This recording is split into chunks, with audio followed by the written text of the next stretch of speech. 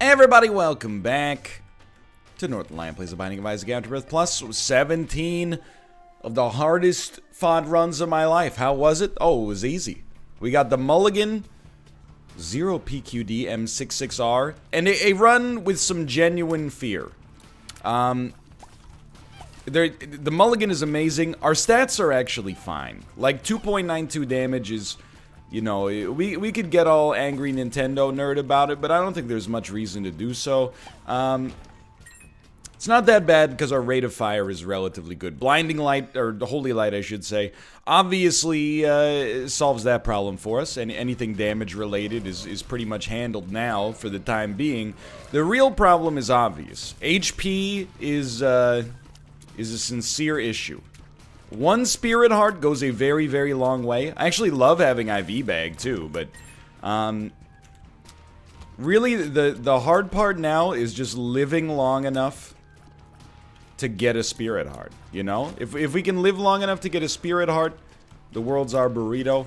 There you go. So we should be getting in there and taking out the the carriers here, but at the same time, I don't really want to do that because I'm frightened about... There we go. I'm frightened about the champion.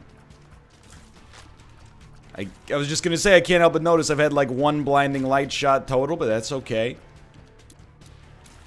Many, many, many enemies in the game right now could kill us in one hit, so we're just playing it as as close to the vest as is conceivable. Don't even try it. These guys are spicy too. They can they can ruin your day like a track off of John Bryan's solo album. Okay, I don't know. Do we want to fight the boss?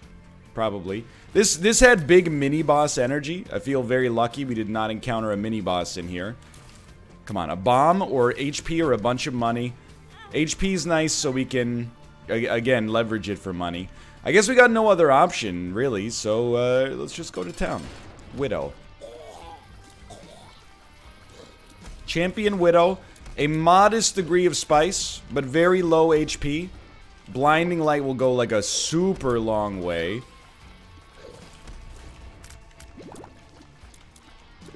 Come on, come on. I missed with the blinding light shot, dude. I keep calling it blinding light as well.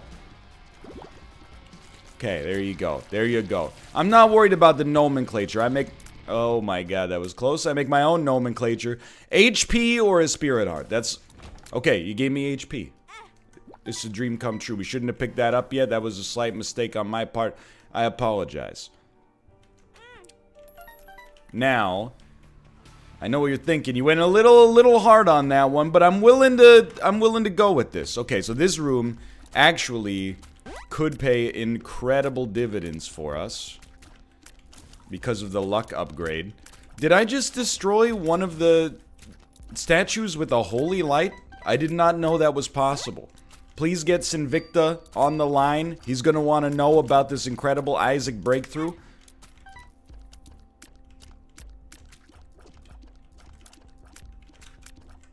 Thank you, thank you. Okay, so I'm just thinking about how we want to approach this.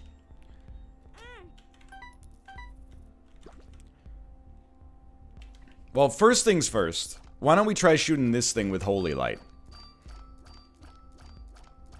Might take a minute. What do you... I know you're working from home. You're inside anyway. Why, why you making it such a big deal? Nobody's going anywhere, dude. You watched the news recently? Settle in. Alright, let's go see what's going on in the curse room, which we should do that on the way in. Watch, the bombs are quite dangerous here. I, don't think we can afford to take any pills, honestly, which is, you know, unfortunate, but otherwise fine. So I think we will buy the Spirit Heart. Unfortunately, buying the Spirit Heart will preclude us from buying anything else. The only other items were the map and uh, the battery. The battery doesn't do anything for us, obviously. We could always use one play here, and then, uh, of IV bag that is, and then buy the map. I don't, I think that's like something I would like to do, but I think it's bad for our chance of winning. So let's just move on instead. Honestly, I think just by going into that shop, we turn this from like a...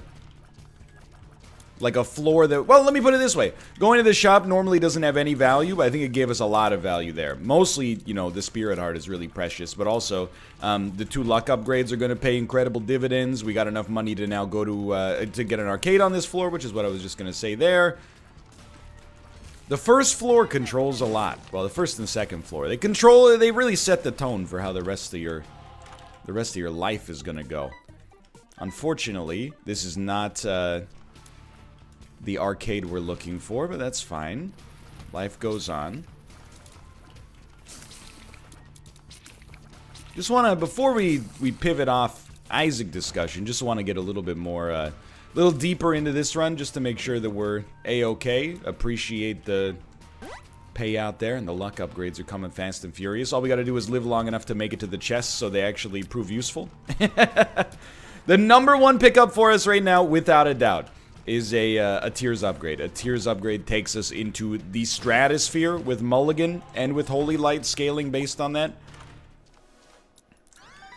Well, it's, it's really hard to not take Book of Revelations here, so let's do it. And I don't think any apology is necessary. That's, that's just very, very good. And of course, the beauty of it is, uh, if you get uh, Book of Revelations and the ability to get a few more charges for Book of Revelations, you're pretty much set as far as using your orbital to kill enemies. So it works very well together. All right, we don't we don't want anything here. Even the Spirit Heart is cheap, but no longer essential. As bizarre as that is to say, early on having the opportunity to get those options is amazing, and I think we will pick this up. And I just want to get, well, I don't know, we don't really need to be at 5 cents now that I think about it. No real advantage to being at 5 cents. Alrighty, dude. We are good to go. This is like, I feel like we just packed up for a road trip. You know what I mean? I, I feel like, uh, I don't know if anybody else is in this camp. Like, I, I used to watch this show called Doomsday Preppers. And it predominantly, I know this is a weird time to be talking about it. Not that I think we're in preparations for a literal doomsday, but, you know, it's just, uh, it's the the doomsday clock is is it's ticked a little bit relative to when I was watching it in you know 2016 or so. Well, well worth it. Um, I, I got a feeling we got a penny in here. And while most of the doomsday preppers, I definitely disagreed with their um, their preparation methods. Like, let me put it this way. Nobody on that show is ever scared about something that is a likely disaster. That's not to say it couldn't happen in a literal sense. But they're all scared about stuff that, that seems completely unfathomable. I ain't never seen anyone on Doomsday Preppers be like, we're preparing for a global viral or bacterial infection. Instead, it's always like, I am preparing for you know, an EMP nuclear blast to go off over the skies of Boise, Idaho. And I'm like, don't flatter yourself. But anyway, my main problem is that everybody's on that show. They stock up food, they stock up water, they prepare their shelter, but they all have like 20 guns per person. And I'm like, look, I'm I'm 100%. You can tell I'm uh, to begin with here. I'm not a gun guy. Even if I were a gun guy,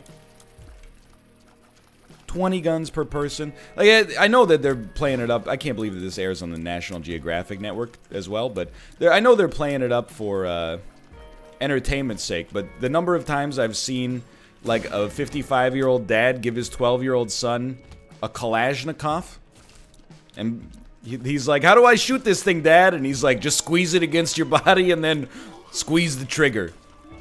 You know, I'm like, well, you know, it's uh, I understand where the methodology and the reasoning for for that fear comes from and that anxiety, but at the same time, I'm like, couldn't you just give him like a, I don't know, like a like a bolt action rifle or something? You're giving him an AK-47, like he's in NWA or something like that. Anyway, that being said, I do like the feeling of being prepared. I think it comes from like. Uh, like my grandma has on my mom's side has crazy anxiety. Like like probably diagnosable anxiety but she was born in the 30s where it was just like you know she's she's got a a timid disposition you know? It was a different era back then. They had other problems going on. Um, And she passed it on to my mom. My mom has done a really good job of mitigating her own anxiety, um, considering the situation that she grew up with with my grandma. And my mom passed it on to me. And you know, because my mom did such a good job of controlling it, I don't have too much of it, and I've, I've worked on it myself as well. And I'm you know better than I've ever been. But I still like love the feeling of being prepared. Like even when I was a kid, we would go on like a two-hour car trip my mom and grandma would pack like 12 sandwiches. And they're like well what if the car breaks down? What if everybody's car breaks down? You know what it, it just these situations that are like, like quite literally impossible. I do enjoy that feeling of being prepared. I enjoy that part of the road trip where you pack like a little bag you got a couple of bottles of water in it. Get a couple granola bars charge your cell phone etc etc it's like a like a security blanket now I will say my mom is, and it, I I understand. You know, I'm not a parent, so she's I, I I can't understand the the fear that you have over your child, especially I'm sure you know even though I'm in my 30s, you know I'm, I'm sure it doesn't go away. But uh, my mom got me a hammer uh, that is like super. Um, I'm trying to think of the right word. Like it's made of a material that can shatter glass and she got it for me to put in our car. Um, she's like, you guys in Vancouver, you know, you're so close to the water. In case your car careens off of the road and into the water, I want you to have this so that you can, like, smash your windows in and get out. and we have it in the car, because, you know, I really, I, I, I'm not afraid of death, but I am apprehensive about dying in a in an ironic way that means I got owned. Mostly, like, I put it in my car, so if I, you know, if it ever happens, my mom will be like, she'll get the feeling of having saved my life. But then beyond that, you know, if I ever died due to being trapped in my car after, I don't know, somehow driving into the Pacific Ocean, there's not too many opportunities in Vancouver for you to drive your car into the water. I'm just gonna. I mean, if you you'd have to really want to. You wouldn't be like, oh, I missed my exit, blah, blah, blah, you know. But I don't know. She wouldn't be able to live with herself. She would be like, I gave him the hammer. Dude, we are cruising here. So there's a, probably unnecessary precautions, but that's fine. I was uh, Kate asked me the other day. She's like, "I wonder what those people on Doomsday Preppers are feeling right now."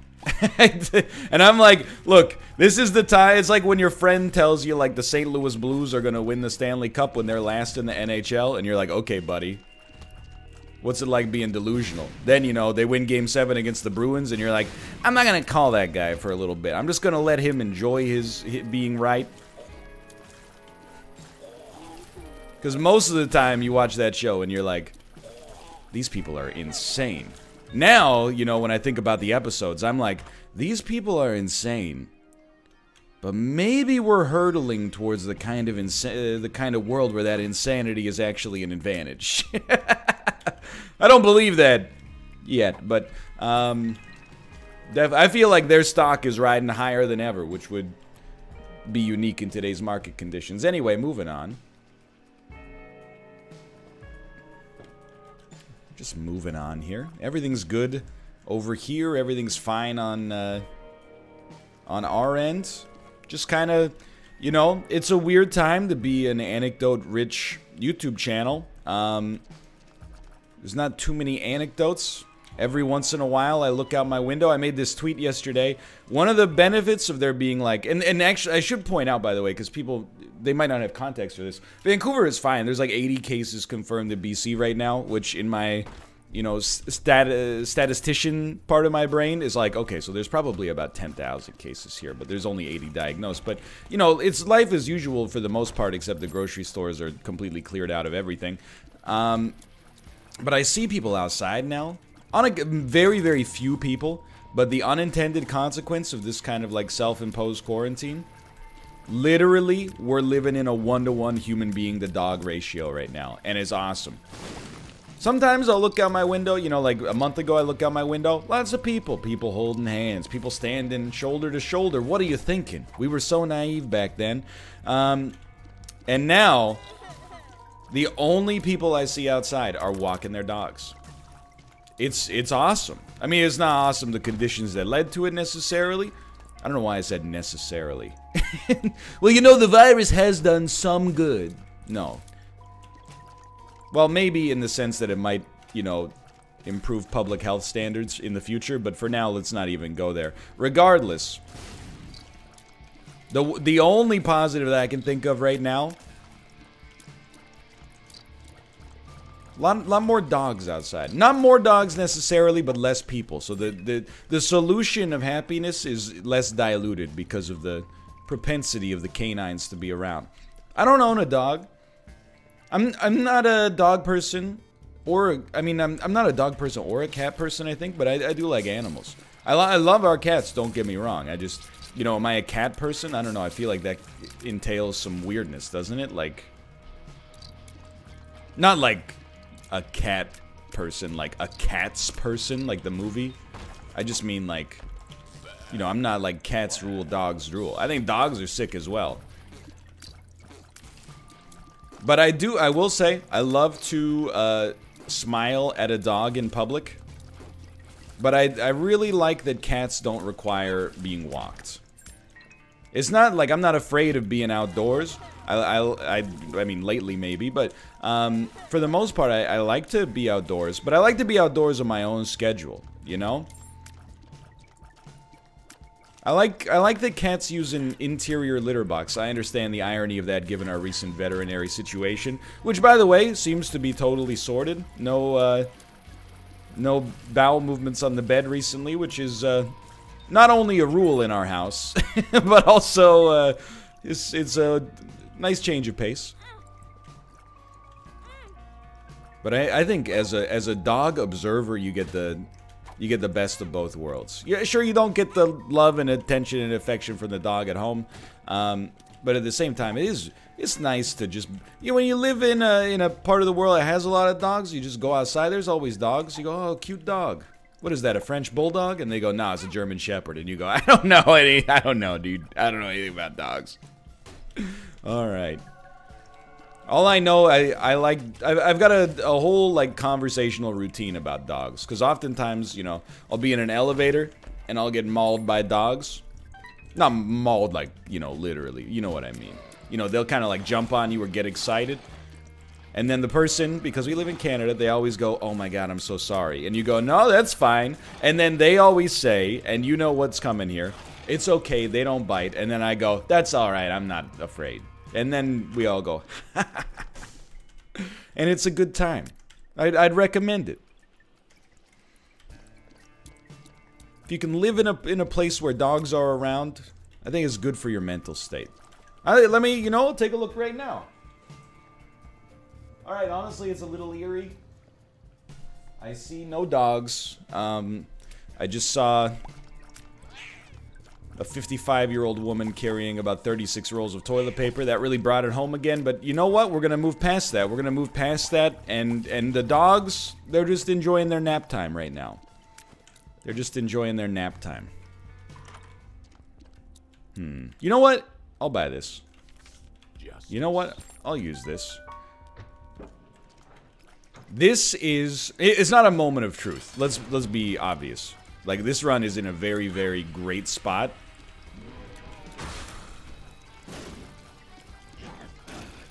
it would be very nice to pick up some damage, is all I was going to say. And apparently that's not going to happen, but that's okay. It is okay. Are we going to take nine lives? We don't have angel or devil, um, not even precedent, but like, you know... I, I actually don't want any of these eternal hearts for the rest. Actually, oh, if if only, dude, if only I had taken 9 lives, we could have then amped up our HP a lot. It's not really that big of a deal in a functional sense. Like, we're still going to be doing just fine. But it's like, us. how could we, we couldn't have known. That's okay, The One Eternal Heart should still be transferable. To be honest, this is one of the few times I would, like, very much consider not taking, um nine lives in this situation, except for the fact that the other item is betrayal, which is like truly useless. But as you can see, you know, everything is totally okay on this run. Got nothing to complain about. Damage is low, not complaining. But one tears upgrade and one damage upgrade of, of a certain magnitude could go a long way right now. We're still going to be fine. It's just This just determines the pace of the run. Like that Backstreet Boys song, you know? Show you the pace of my run. You don't, you don't know that one? It was big in the half marathon community. There's not too many songs about running, you know? There's No More Running by Animal Collective, but, you know, on top of being a bit of a downer from a BPM standpoint, it doesn't have a title that's very good for, for people that are training. I'm trying to think of. Uh... Oh, what? How about? Uh, no, it, it, the song is not called "Run Like the Wind." It's called "And I Ride, and I Ride, Ride Like the Wind." if you're not familiar with that guy, uh, you know what? You're just getting blown up because I want this devil chance. Um, so that is a, a singer that I only became aware of when I started working out and listening exclusively to 1970s to you know late 1980s classic rock um, in the gym because I'm 100 years old apparently. And uh, this this singer came up. His name was Christopher Cross, and I was like, yeah, he'll make you jump, jump. Daddy Mac will make you jump, jump. Mac Daddy will make you jump. Yeah, I'm familiar with Christopher Cross. No, it's a different guy. His name's Christopher Cross. Anyway, go look up a picture of Christopher Cross and tell me he doesn't remind you of Cobalt Streak. When I saw his photo, I was like, this is this is Cobalt Streak. I'm even gonna let me make sure I'm not, you know, incorrect here. Photos of Christopher Cross. Okay, let me be clear. Photos of Christopher Cross not in the present day. Not in the present day. Go ahead, Christopher Cross photos from like 19 in the 1970s and 1980s. As now he's like a 70 year old man who's not in the best shape. I want to be clear, that is not what I intended. Yo, let's go. See, that's why I'm glad I did the Google image search. Bob's Rotten Head. Well, at least get a little something something out of it. I'm so happy we got Cricket's Head. But I will say, Christopher Cross, I hate to say it because I know he's popular, and I know he's popular because his albums always come up on Google Play Music uh, in, in the algorithmic machine learning, rhythmic recommending engine, and uh, they always have like a 20th century greatest artist, greatest hits collection sort of vibe to the cover art. So I know he's well liked, but I do skip this. I, I skip his songs when they come up. Just because I'm not listening to music from the 1970s and 1980s to like discover new things. I'm listening to hear, you know, like, you know, Brandy used to watch his eyes when he told those sailor stories. You know, that's what I'm listening for. I'm not, if I wanted to discover new music, I will watch the needle drop. I'm out here trying to figure out, you know, what my dad was listening to. No, no, no, no, I'm, I'm not free. I'm not free. I will say, though, I, I was listening... I'm trying to think about how I got here. I think I put on Men at Work's Overkill. No, I should have just taken the right item there. Yikes, dude. How do we have so many items from good spots that are kind of trashy here? Um, and then, you know, Track 1, Men at Work's Overkill. Track 2, a little song called Voices Carry by 'Til Tuesday. I was driving, so I couldn't fiddle with the controls on my phone. I'm a man who practices what he preaches. Any of y'all out there? I don't like this song. Let me get my phone out and change it. Uh-uh. Absolutely not. So I, I had to listen to this song Voices Carry by 'Til Tuesday, I was pleasantly surprised. I was like, this song's a real, it's a bop. Then I realized Aimee Mann is the singer from 'Til Tuesday. Had no idea. So that's today's uh, song of the day recommendation is Voices Carry by a band called 'Til Tuesday. Highly recommended, you know. I think I already talked about this in an Isaac episode. I can't remember. Again, you know, not that much going on right now. we're gonna we're gonna be recycling lots of anecdotes. Prepare yourself. I will say I did go to the grocery store last night. I was, um, well, it, it's it's a funny anecdote. My wife sent me out to the grocery store I'm like, uh, I'm not a survivalist, in case that's abundantly clear. I have, like, no survival skills. But, like, a week ago, I bought a bunch of spam and a bunch of potatoes, some vegetables, and, like, you know, canned food. And I'm like, this is what I eat now. My wife is like, I don't want to eat spam and potatoes for dinner every night. And I'm like, all right, okay, your majesty. Um, so she's like, I, I would really like, I know we can't, like, go out, or we shouldn't go out to a restaurant, but I'd really like, like, some pasta tonight. And I was like, okay, what kind of pasta would you like? What kind of sauce would you like? Blah, blah, blah. Went to the grocery store. My questions, it turned out, were not relevant. There were two packages of pasta remaining. One of them was like a multicolored orecchiette. And then the other one was lasagna sheets. And I said, all right, we're going to go with the orecchiette then. And then there were literally two jars of pasta sauce remaining. And I went, all right, I'll take those. And, uh, and that's that. It was like, you might say, why don't you make your own pasta sauce? Well, that would be nice, but unfortunately, that requires uh, fresh tomatoes, which were, for whatever, it must be a bad season because the fresh tomatoes were, were totally gone. Like, I feel like my grocery store right now looks like what people on Twitter think grocery stores in Cuba look like. Like, I just... You, you no longer, at least for now, have have like a preference. It's just, what do you want for the grocery store? Pasta. What kind? Uh, you know... available. Available is the best, I would say. I'm not trying to... I'm, look, I'm, I'm mining this stuff for humor. Here's the thing. I have had people particularly on the NLSS when we've been talking about it, they've been like, "Can you talk about something else?" Like I watched the show to assuage my anxiety, and you know, yada yada yada. Yeah, no, I understand. First off, I don't know what I'm going to talk about until the episode starts. Usually, it talks about what's going on in life, and everybody's inside because of the freaking coronavirus, you know. So, um, what do you think we're going to talk about? And then on top of that, I'm like, dude, if you got topics, pass them on, baby, because I'd be happy to talk about them. But, you know, I'm also, you know, I'm not suffering from like anxiety about the virus necessarily. I've just taken some necessary precautions, but you know, I feel like you gotta kind of like you know live with it because it's like a big deal. That makes sense. I don't want to look. I'm, I've I've struggled with how to address this, and I don't know if this is the best way to do it. But I am kind of like I understand you're like I've got to watch something to take my mind off it. But at the same time, I'm also like, you know, if we end up living in you know a social distancing world for the next like three months Let's just let's just call that a an estimate, whether it's conservative or liberal. You can choose for yourself, right? Um, you know, you probably should build up the necessary defensive mechanisms to understand that you're going to be hearing some content about it.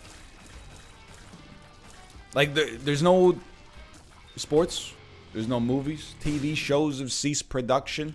Um, you, there's not a whole heck of a lot going on outside of this right now. I've been losing my mind seeing people like on social media, and you would think it's mostly on TikTok, but it's not. It's it's actually mostly on Twitter. Like I don't know. Maybe I'm maybe I'm too callous about this because I I understand. Okay, we should peep this actually. Like I understand. Let's go. Is the greatest dream of all time. Um, I understand like being sad um, that like let's say you are graduating from college this year you know and your college is like we're not going to do an in-person graduation because of the fact that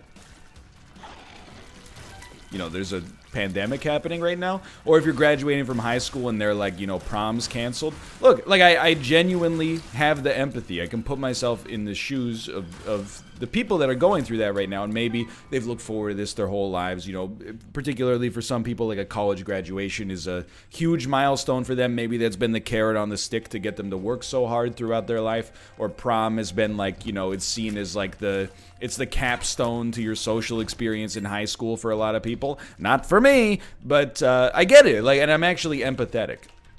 But at the same time, I think you get to complain about it exactly one time. Like, if, if you're like, man, it sucks that there's not going to be, like, prom this year. I'm like, yeah, it does suck. You're not wrong. I didn't have to go through that. If you're like, yeah, but it really sucks. I'm like, no, it doesn't. Because, like, people are dying. Or, like, on ventilators. Like, I'm, I'm on your side, but it's also a dance. Like, you know. Moreover, I mean, and this is maybe just because I'm wired weirdly, but I'm like, dude, I I think this would be a really and hear me out here because I'm talking long-term horizon, you know, we make it through this. You're going to have a great story to tell people. You know, I never got to go to my own college graduation because there was a worldwide disease outbreak happening at the time. All the events got canceled. Stop complaining. If we make it through it, you're going to have street cred forever.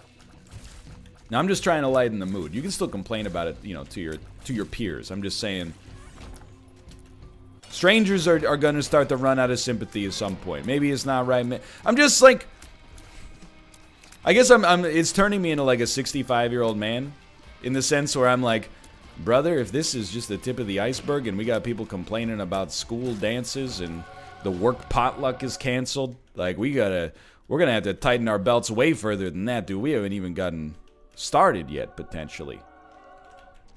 You know what we're gonna have to do to stop climate change? You worried about not being able to go out to the freaking Olive Garden for two weeks? Anyway. Okay, sorry, I'm, I'm bumming people out. I just, my producer just said you're bumming people out. Okay, we're moving on. Sorry. Entertainment, entertainment.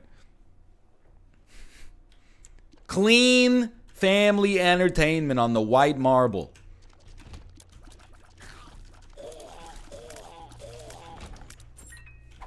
But I have found myself thinking, like, you know, harden the f up. Just a little bit. I'm bit, I'm rarely one of those guys that's like, you know, Hey, uh, better pull yourself up by your bootstraps, Buttercup. Things are gonna get rough. But then, you know, the same kind of people that even say those things are like, you know, not go to a bar for a week? Impossible. If I do that, the virus wins. Oh my god. You just gotta. I'm I'm so thankful that I'm like a homebody to begin with. I mean, I I've been preparing for this for for years. How many times have you heard me say I don't really like going out. I love staying inside. When I'm out, the number one thing I'm concerned with is how quickly I can get back inside, blah, blah, blah. I mean, I get that it's easier for me. But, uh... At the same time, I'm like, you can be like me. I'll teach you. Get Netflix. You know, get you download the Kindle app on your phone, get a bunch of free books, you're good to go. I did see, and I shouldn't be spotlighting this stuff, but I do it almost, I guess, is like I'm gonna choose to think of it as a way to spotlight ignorance to hopefully root it out. But you know, the Canadian border, and this is how you know we're on like a six-day backlog, seven-day backlog. The Canadian border just closed um, for non-essential travel and also for non-Canadian citizens and permanent residents, which is a huge deal. Um, although they are leaving it open to American travelers, because I mean, I, I, get that the infection is also in the United States, but you know, I'm not on that policy side of things. If I was playing Plague Inc., I'd be shutting it all down and going to Madagascar, but I don't know the implications of that for trade and whatever. You know, I leave that up to the experts. Um, regardless. I, I, saw someone reply to the tweet that's like, people don't understand what it's like to live in a small border town. Like, sometimes I need to get out of this town for my own sanity because there's nothing going on here. And I'm like, what are you? We got bigger problems, Glenda. What are you? I just, I'm so going so crazy cooped up in this house. How you doing? Ah, feeling bored, might F around and become a carrier for an infectious disease later.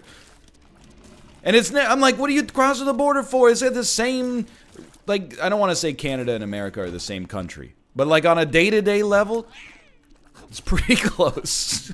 on a macro level, there's huge differences, but on a on a micro, how do you live your day-to-day level? There's a lot of similarities. The, the number of people, like, there's so much traffic from Vancouver to you know Bellingham. These are northern Washington cities: Bellingham, you know, Seattle, Lynnwood, Redmond, etc., etc.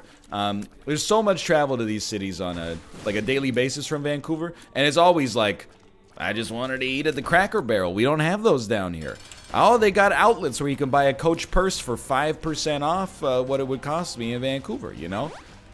Gas is slightly cheaper. Well, actually, it's markedly cheaper, but anyway. I'm like, you. Can, what do you mean you're you gotta get out of your one horse town so you can? Hey, you know what they're doing? Downtown Toronto, Netflix. Downtown Vancouver, Netflix. New York City, Manhattan, Netflix. We're all watching Netflix, Glenda. Get on the train, baby. We all got to band together here. They just claim it came out with Dirty Money Season 2. I'd recommend it. Very interesting. I am a little surprised that this run, while good, for sure, never reached, like, incredible status.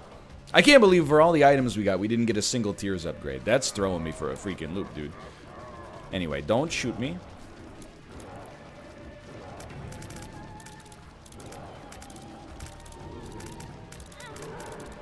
I guess I am just, you know, you, sure a lot of people out there in the exact same boat right now. People are going stir crazy due to being inside, and I'm like, dude, this is my, this is my dream come true. You know, it would be terrible for my lifestyle if there was like a virus that somehow affected you via isolation. if it was like you must go out and be in a crowd of 250 people at any given time. Thank God it's not like that.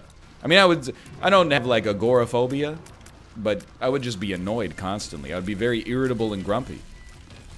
Instead, for the most part, I'm like, man, I feel really... this this pandemic has got me really recharged. It's been a great opportunity to, to really just enjoy being a homebody. You know, there is... It's, it's a bad time for this quote, I'll admit, but I hope you'll hear me out. There's this quote, never let a crisis go to waste. That's how I feel right now to some extent. I'm like, yeah, I'm forced to stay inside, but on the other hand, I can finally watch The Lighthouse. Finally got a good opportunity to watch The Lighthouse starring Willem Dafoe. Now, is it worth it? Well, I can't answer that question. I haven't seen The Lighthouse yet. I suppose if The Lighthouse is such an incredibly well-made movie, it makes up for a global disease outbreak that, you know, is affecting potentially affecting, not infecting, but affecting billions of people worldwide, then no, of course it's not worth it. I'm just I'm just being a I'm just being a devil's advocate.